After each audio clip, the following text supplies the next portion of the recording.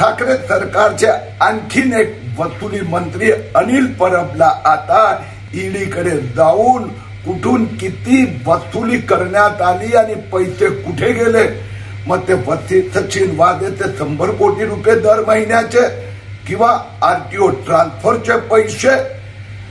आणि जो दापोलीला रिसोर्ट बांधला तो पैसा कुठून आला? त्याचा हिशोब द्यावा लागणार.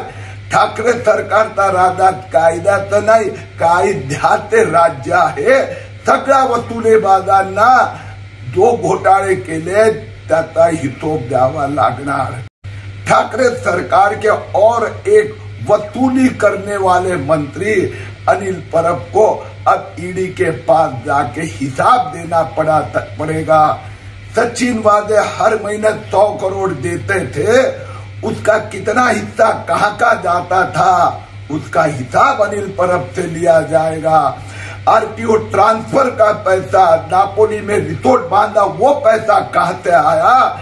ठाकरे सरकार के घोटालेबाज नेताओं को एक एक करके हिसाब देना पड़ेगा।